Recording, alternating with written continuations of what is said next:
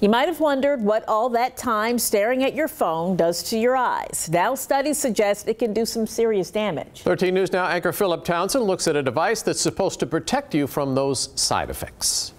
Maybe you've heard about the threat. I know if you scrolled through Facebook or Instagram, you've heard about the solution. I'm talking about blue light from computer screens and the glasses that promise to protect you from it. Now, these glasses have sparked a small scale industry backed by some big time social media influencers. Some of the claims are that blue light from your monitor can cause eye strain, sleep troubles, even long term vision problems. And the idea is if you spend a lot of time in front of the screen, you should be wearing these blue light filtering lenses. But the American Academy of Ophthalmology says most of what you're hearing is unfounded. For starters, digital eye strain and blue light they're two different things. It's not blue light that causes your eyes to get dry and irritated. It's focusing on something too hard for too long.